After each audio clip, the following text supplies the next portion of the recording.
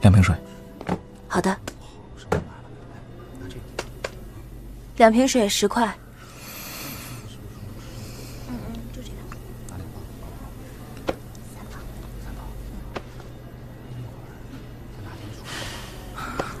嗯不好意思，我我先不要了。我来付，谢谢。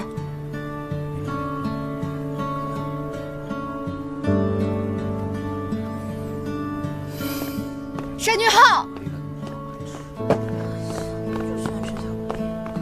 单俊浩，单俊浩，单俊浩，单俊浩，你站住！你知不知道？我今天一直在找你，从你家到酒店再到这里，我很担心你。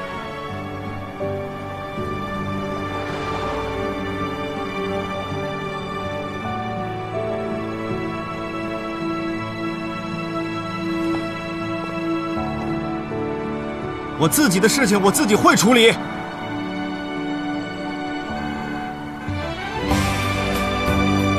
你干嘛？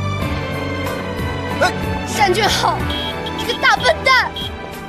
既然决定要在一起，有问题就要一起面对。你偷偷躲起来算什么？你不要命了？你知不知道这样很危险？我不知道，我什么都不知道。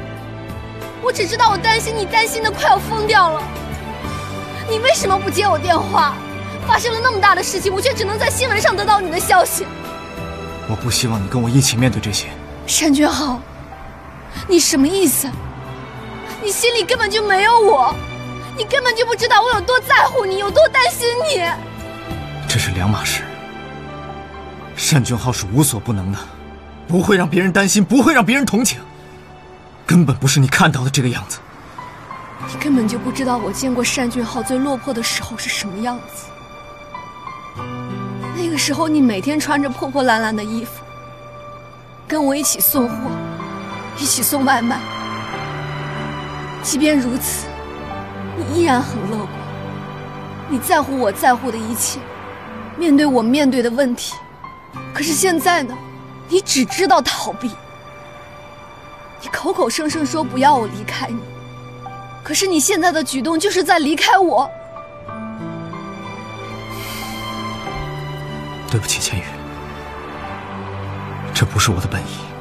你曾经跟我说过，在叶千羽的心里住着一个天使，但是叶千羽比谁都清楚，在单俊浩的心里住着一个比王子还要王子、比天使还要天使的同好。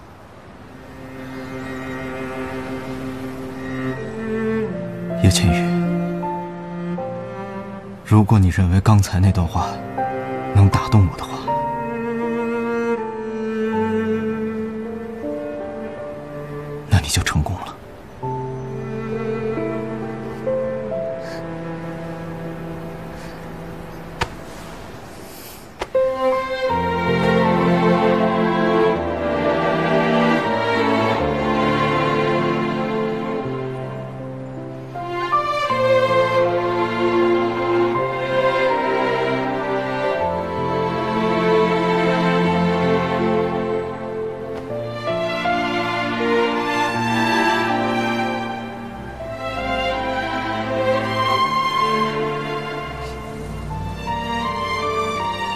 回家吧。